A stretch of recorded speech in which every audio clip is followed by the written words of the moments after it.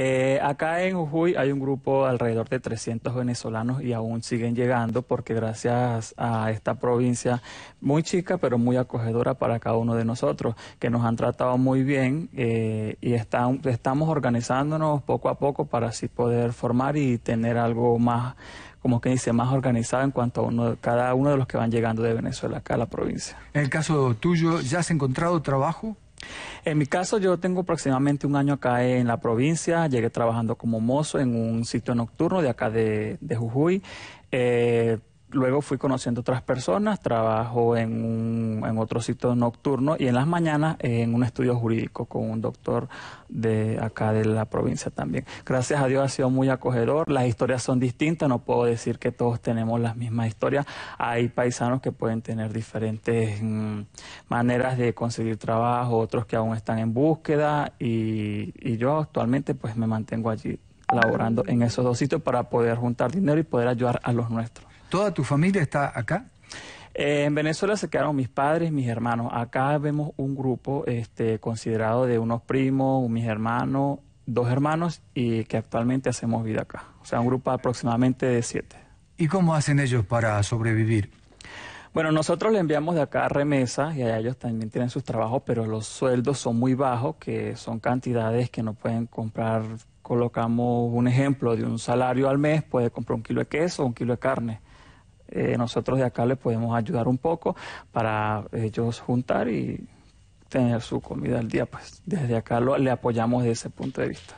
¿En qué sitios se están reuniendo o cómo pueden ustedes eh, reunir a más gente que quiera trabajar en forma conjunta? ¿Cómo se llama el grupo de venezolanos? Nosotros tenemos un grupo por WhatsApp que se llama Venezolanos en NOA Argentina, o sea, en el noreste argentino, el cual acá podemos comunicar porque todos algunos están en sus trabajos y no pueden estar reuniéndonos consecutivamente, entonces por allí nos comunicamos.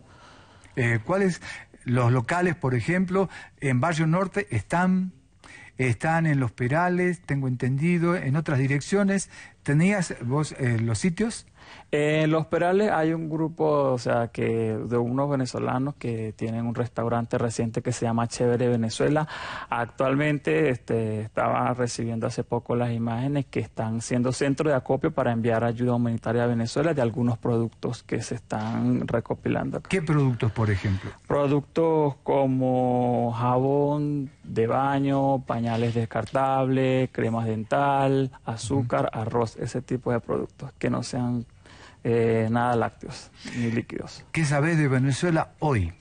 Hoy de Venezuela pues siempre he estado al tanto a través de las redes sociales porque debido a los canales de allá de Venezuela están censurados que no pueden hablar nada de la situación que está sucediendo hacia la frontera. Eh, recientemente fue lo del concierto el 22 de febrero eh, llamado Venezuela Ace Life el cual se llevó a cabo el 22 con alrededor de 32 artistas de talla internacional, el cual fue convocado y organizado por el manager multimillonario Richard Branson, el cual tiene una, una cabalidad para reunir alrededor de 100 millones con la finalidad de que la ayuda humanitaria entre a Venezuela como tal.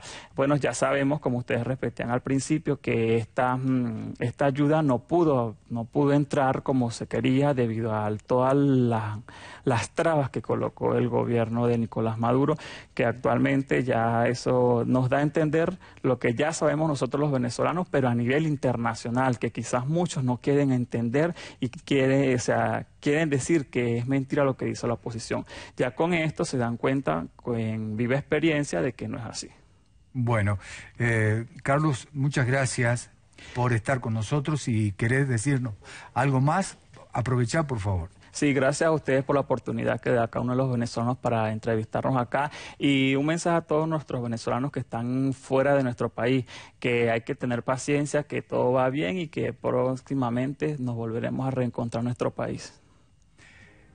El señor se llama Carlos Montilla, es abogado, es comunicador social, trabaja de mozo.